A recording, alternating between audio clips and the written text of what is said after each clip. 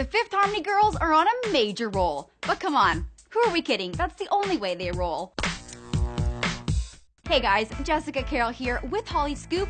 Harmonizers, you'll love this. Our girls Fifth Harmony performed Worth It this morning on Kelly and Michael, and they seriously killed it.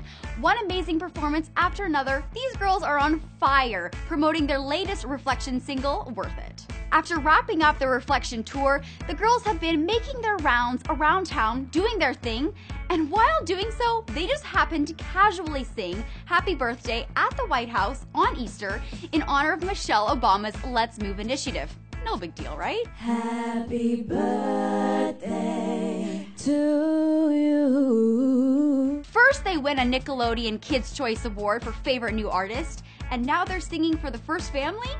These girls are putting in work, and with no signs of slowing down, the girls absolutely dominated the stage on Kelly and Michael, showing off their businesswoman side, performing Worth It. And boy, was there a lot of hair flipping, booty shaking choreography going on.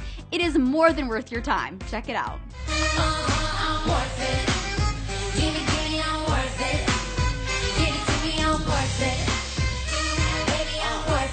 If every woman dressed like that, no one would get any work done, right? But don't worry, these divas have big goals for the future. The girls have dreams to start their own beauty and fashion lines. Girls, might as well just take my money right now. For more scoop, click that subscribe button, and to see Zac Efron's abs or how hot JLo looked at the MTV Movie Awards, click the boxes.